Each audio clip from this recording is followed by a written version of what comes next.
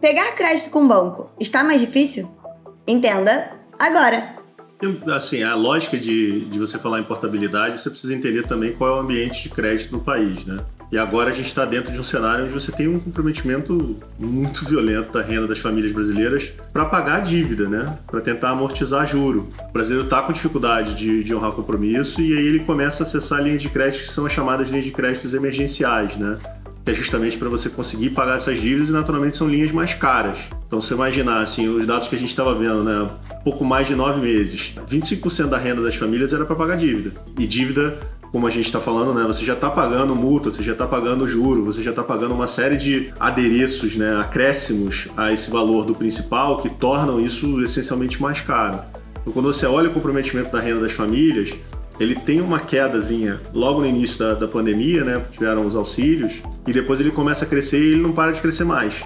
Né? Ele vem crescendo de uma forma muito significativa a partir de 2021, né? E ele vai, assim, chegando agora talvez num pico agora em fevereiro de 2023. Então foi bem, bem significativo. E essa a piora no mercado de crédito, ela pode ser mensurada, né? Inclusive tem um índice específico, é o índice de crédito e custo do Banco Central, de custo de crédito do Banco Central, ICC, né? Que ele, ele avalia todos os custos que envolvem a formação do preço de crédito para o tomador, né? Para o sujeito que vai lá e pega o, o crédito junto às instituições financeiras. A ideia é você, de alguma forma, mensurar o risco da operação. E o negócio, sim, tem sido bem, bem relevante, né? O, o ICC, agora em março de 2023, está 20% mais ou menos, né? Maior do que março de 2021, né? O que mostra que você teve aumento de captação pelos bancos após a taxa Selic, né? Quando a taxa Selic fez aquele movimento muito alto, isso acabou também impactando o risco, né? E o custo de crédito. Isso acaba sendo mensurado pelo ICCC. E um ponto interessante é que o spread cresceu acima do ICC, o que mostra ainda, né, o que traz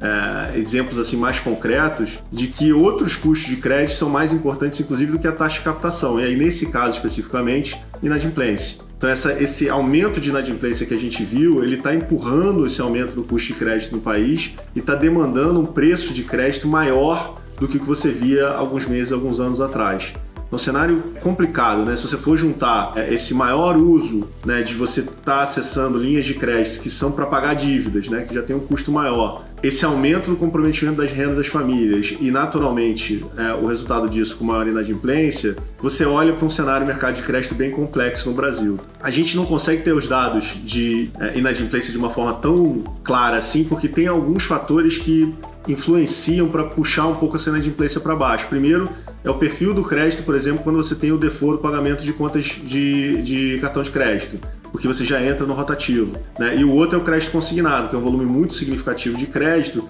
mas que ele está garantido por salário. Então, se você excluir esses fatores, você vai ver que a inadimplência tem sido bem significativa no Brasil. A estabilidade já estava muito associada a dois perfis, um mais do que os outros, né? É, a portabilidade do crédito consignado era o mais relevante de todos, era algo quase 90%, e aí talvez um outro mais relevante era do imobiliário. Mas, assim, o fato concreto é que quando você teve esse, essa elevação da trajetória da Selic, você teve um aumento do próprio desinteresse em negociar as dívidas. Até porque os próprios bancos não estão obrigados a aceitar essa nova dívida. Tem um momento, o banco vai ter que oferecer é, essas condições de migração levando em consideração o que está acontecendo atualmente, que é um cenário mais complexo do que existia, por exemplo, em 2019. Então, quando você olha né, que desde 2015 você tinha um cenário ascendente né, na portabilidade de crédito, quando teve a pandemia fez uma barriga, né, a curva, e agora voltou a cair né, a partir desse, desse, desse ciclo de elevação da taxa de juros. Então, da mesma maneira como a oferta de crédito está mais complexa agora, a portabilidade também está mais. E o, talvez a má notícia não seja nem essa, como a gente já está olhando, e óbvio, super é, sujeito a debate a várias complicações, mas para um cenário onde você vai ter uma redução da Selic,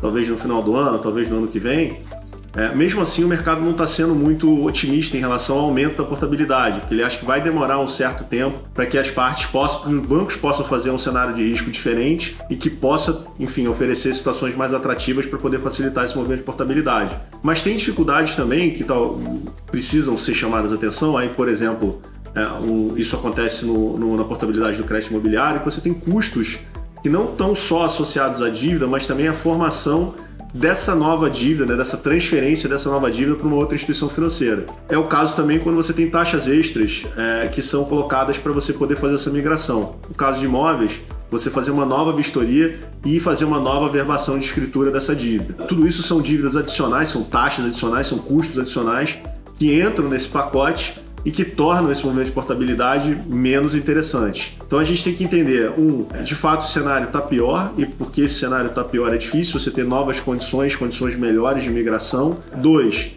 talvez o cenário de médio prazo ainda não seja bom, embora o ciclo desde 2015 tenha sido muito positivo. Se você olhar o que cresceu, o instrumento foi bem relevante, embora ele esteja muito concentrado no consignado.